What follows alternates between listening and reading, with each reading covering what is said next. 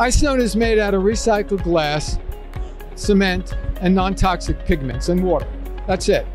It's one of the cleanest, direct countertop materials that you can buy on the market today. Icestone is one of the most stain resistant, heat resistant, and UV resistant products uh, on the market.